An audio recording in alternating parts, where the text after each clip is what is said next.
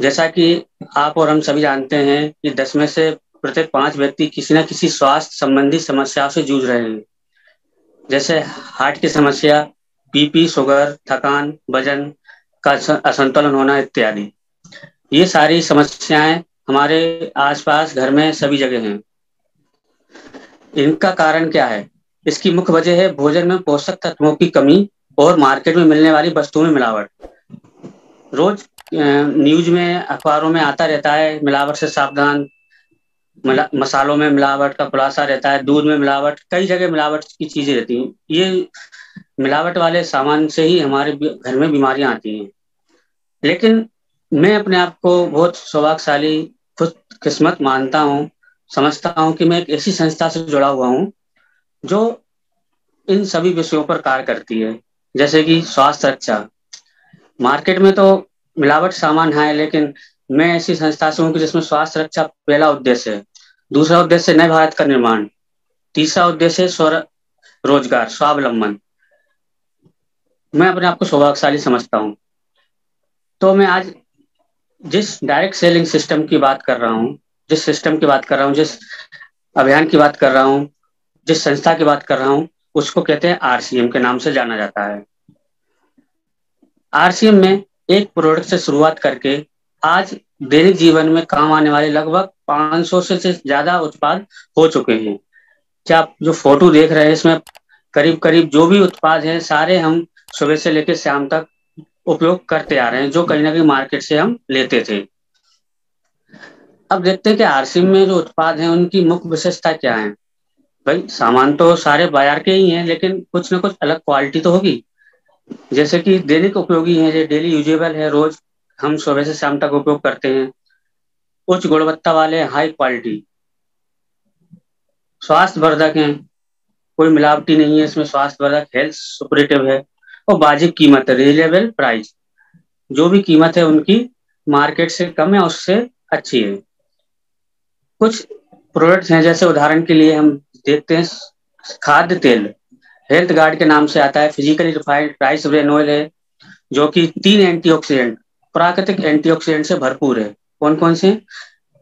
एक तो ओरिनोल है, एक टोकोट्रिनोल और एक टोकोफ्रिनोल इन तीन प्राकृतिक एंटीऑक्सीडेंट से भरपूर है, अपना जो खाद्य तेल है health guard rice bran oil जो कि फिजिकली रिफाइंड है। उसके बाद ऐसा माना जाता है कि डायरेक्ट सेलिंग की शुरुआत उन्नीस सौ उनसठ में अमेरिका से हुई थी। लेकिन 1990 के बाद भारत में डायरेक्ट सेलिंग की शुरुआत हुई, काफ़ी समय बाद। और आज विश्व के अधिकतर देशों में डायरेक्ट सेलिंग मेथड प्रचलित है। लेकिन दिसंबर 2021 में भारत सरकार को यह बात समझ में आई कि डायरेक्ट सेलिंग के लिए रूल्स और रेगुलेशन बनाना चाहिए। जिसे हम 2021 डायरेक्ट सेलिंग रूल्स 2021 कहते हैं। और डायरेक्ट सेलिंग को एक लीगल पहचान मिली भारत में। सरकार के द्वारा। और अब हम ये कह सकते हैं कि सिस्टम को धीरे धीरे सामाजिक मान्यता प्राप्त हो रही है, काफ़ी समय के बाद। अब मैं जिस संस्था की बात कर रहा हूँ, इसमें इनके संचालक हैं श्रीमान टीसी छाबड़ा जी, जो 1977 से कपड़े के व्यापार में संलग्न थे। उन्होंने सन 2000 में डायरेक्ट सेलिंग की शुरुआत की। इंडिया में तो 90 से शुरुआत की, लेकिन 2000 में श्रीमान सर जी ने डायरेक्ट सेलिंग की शुरुआत की। अब देखते हैं कि इस सिस्टम में कैरियर बनाने और पैसिव इनकम लेने के अवसर भी मौजूद हैं। कैरियर बनाने और पैसिव इनकम लेने के अवसर भी मौजूद है, लेकिन क्या आप जानना चाहते हैं कि ये कैसे मिलना चाहते हैं? कैसे मिलते हैं? तो मैं इसके बारे में आपको कुछ बताना चाहता हूँ। ये ऐसा सिस्टम है डायरेक्ट सेलिंग इसमें कोई भी पैसा पूंजी नहीं लगानी हमको। और ना ही कोई दुकान खोलनी है, कोई निश्चित। दुकान नहीं खोलनी, उसके बाद फिक्स समय भी नहीं देना। अपने मन अनुसार पार्ट टाइम या फुल टाइम कर सकते हैं। जब पैसा नहीं लगाना, कुछ नहीं करना तो कुछ त्याग भी नहीं करना इसमें, इतना ज़्यादा। उसके बाद इसका हिसाब किताब भी आपको नहीं रखना है। जब हिसाब भी नहीं रखना, पैसे भी नहीं लगाना तो टेंशन की भी कोई ज़रूरत नहीं है लेने की। अब हर व्यक्ति अपने जीवन में कोई ना कोई काम तो करता है। काम कोई भी हो सकते हैं, जैसे कि नौकरी, व्यापार, खेती, मजदूरी, ये सारे काम हर कोई व्यक्ति कर रहा है। इन काम के बदले आपको और हमको जो भी हम काम करते हैं, पैसा, रुपया हमको मिलता है। लेकिन उस पैसे का हम करते क्या है? मेन खर्च करते हैं, मुख्य रूप से। अब खर्चा करने मार्केट में जाते हैं, लेकिन खर्चा करने के बाद क्या होता है हमारे पास? बचत ज़ीरो होती है। खर्च करके फिर हम वही के वही काम पर लौट जाते हैं। लेकिन अगर हम अमीर बन सकते हैं, इन काम से अगर हम अमीर बन सकते हैं क्या? नहीं। अगर हमको अमीर बनना है तो क्या करना होगा? खर्चे से इनकम आना शुरू हो जाए तो हम अमीर बन सकते हैं। किस तरीके से? देखते हैं आगे चल के। जो भी हम खर्च कर रहे हैं मार्केट में, ट्रेडिशनल बिज़नेस, जो इसको हम बोलते हैं, हम वहाँ पर एक कंज्यूमर ग्राहक होते हैं।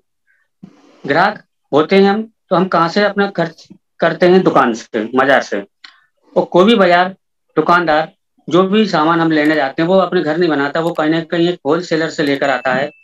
होल सेलर भी उसको अपने घर पर नहीं बनाता है, कहीं ना कहीं वो एक सी एंड एफ़ एजेंट होती है एजेंसी होती है, वहाँ से लेकर आते हैं। और C and F agency dealership जो भी होती है, वो घर नहीं बनाता, वो भी कहीं ना कहीं कंपनी या फैक्ट्री से लेकर आते हैं। इस तरीके से देखा जाए तो अगर हम सौ रुपए का सामान अगर बाज़ार से उठाते हैं तो वो कंपनी से पचास रुपया उससे कम में निकल के चलता है। इसी बीच एक बहुत बड़ा कंपनी खर्च कर देती है एडवर्टाइजमेंट पे, जिसका एड हम देखते हैं टीवी अखबारों पे, उसी के द्वारा हम सामान की बिक्री, खरीदी, बिक्री मार्केट से करते हैं।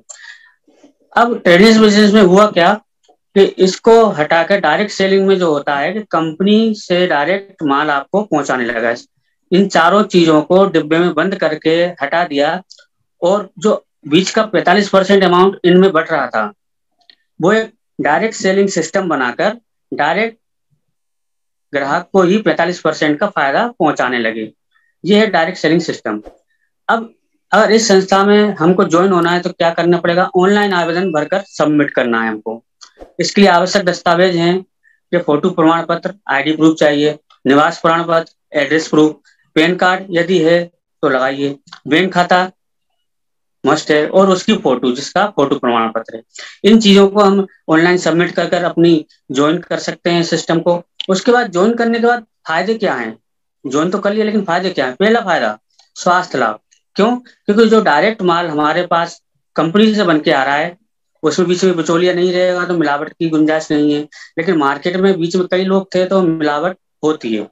उसके बाद दूसरा फ़ायदा एमआरपी पर 10 से लेकर 20 परसेंट की छूट आपको हाथों हाथ दी जाती है। मार्केट में ये कोई सुविधा नहीं थी।